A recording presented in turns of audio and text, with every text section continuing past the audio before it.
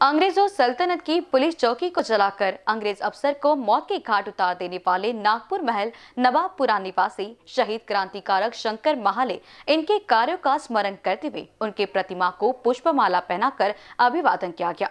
इस मौके पर नितिन चौधरी, नारायण चिसोनी, महाले मौजूद थे। देश को आज़ादी मिलने के पहले इस देश में अंग्रेज़ सल्तनत की हुकूमत थी। अंग्रेज़ों द्वारा कई जुल्म हिंदुस्तानियों पर ढाए गए थे। देश को आज़ादी दिलाने के लिए सन 1942 में करो या मरो का आंदोलन किया गया।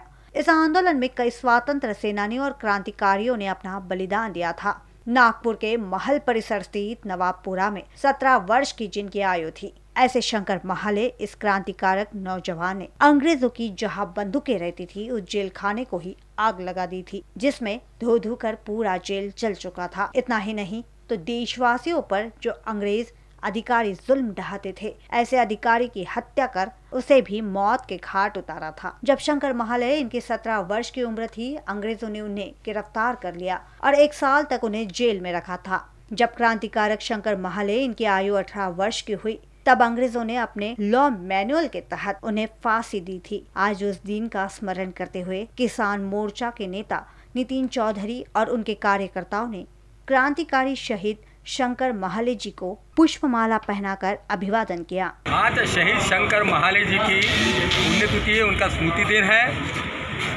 19 जनवरी 1943 में उनको अंग्रेज़ सरकार ने फांसी पर चढ़ाया था।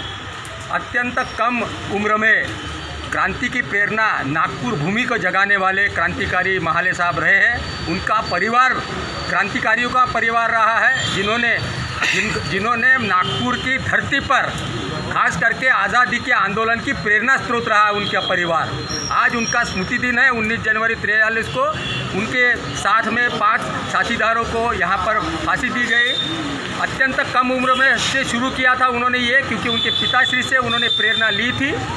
यहाँ पर कुछ एक हादसा हुआ था। हादसे के कारण अंग्रेज़ों ने उनको गिरफ़्तार किया था और कम उम्र होने के कारण एक साल और अंग्रेज़ सरकार ने तय किया था कि इनको फांसी देना है, देना ही है, क्योंकि उन्होंने कम उम्र में होते हुए भी यहाँ क्रांतिकारियों का काम किया। बी न्यूज़ के लिए संजय मिरे, इनकी रिपोर्ट।